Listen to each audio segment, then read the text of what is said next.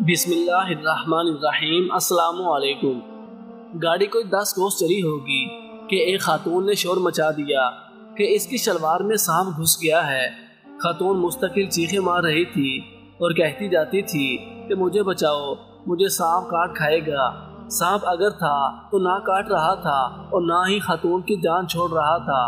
عورت ذات تھی، مردوں کا اس کے جسم کو ہاتھ لگانا مناسب نہ تھا۔ آخر کار بس روکی گئی۔ اور خواتین کے حوصلے اور ہمت سے سانپ والی خاتون کو سڑک پر اتارا گیا۔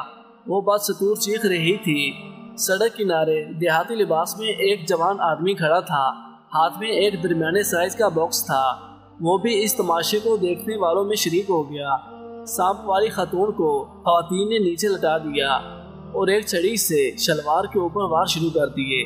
سانپ نے اندازہ کر لیا ہوگا کہ باہر اس کے دشمن کھڑے ہیں۔ اس لیے وہ باہر آنے پر تیار نہ تھا۔ بہرحال، جب وار شدت اختیار کر گئے تو سانپ نے شلوار سے سر نکالا اور آہستہ سے باہر آ گیا۔ یہ ایک سیاہ رنگ کا کوبرا سانپ تھا، جس کا ڈسا ہوا پانی نہیں مانگتا۔ اس طرح کا سانپ اگر ہاتھی کو کاٹ لے تو وہ چند منٹ میں ہلاک ہو جاتا ہے۔ سانپ کے خوف سے سب لوگ ڈر گئے۔ کسی کی ہمت نہ پڑی کہ اس کے نزدیک جائے۔ سب کی کفتے فیصلہ جواب دے چکی تھی، سانپ کو کیسے مارا جائے؟ اس کے اوپر سے بس گزاری جائے یا انتظار کیا جائے کہ وہ کدھر کا رخ کرتا ہے۔ خوفناک آنکھوں والے سانپ نے ہن اٹھا رکھا تھا اور چاروں طرف دیکھ رہا تھا، جیسے کسی کو تلاش کر رہا ہو۔ دیہاتی جوان جس نے بکسہ پکڑا ہوا تھا، سانپ سے کافی دور تھا اور بظاہر اس صورتحال سے محظوظ ہو رہا تھا۔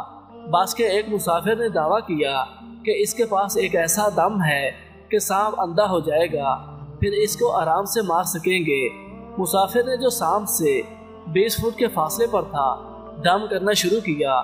ابھی چند لمحے گزرے تھے کہ سانپ نے اس زور کی پھنکار ماری کہ دم کرنے والا مسافر جو خاصا دور تھا، دھڑام سے زمین پر آ گرا۔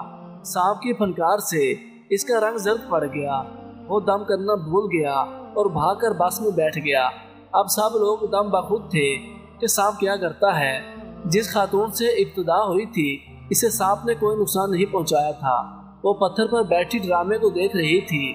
کسی نے مشورہ دیا کہ پیالے میں دودھ ڈال کر سانپ کو ایک طرف لے جایا جائے۔ تو یہ مشورہ دے رہا تھا کہ بس اوپر سے گزار دی جائے۔ یہ سب باتیں جاری تھی کہ سانپ اپنی جگہ سے ہلا اور سیدھا بکسے والے دیہاتی جوان کی جانب سرکنے لگا۔ چند لمحوں میں وہ نوجوان کے بالکل قریب پہنچ گیا۔ اب سانپ اتنا قریب تھا کہ نوجوان بھاگ بھی نہ سکتا تھا۔ دیہاتی جوان کا رنگ زرد تھا اور ہوش اڑے ہوئے۔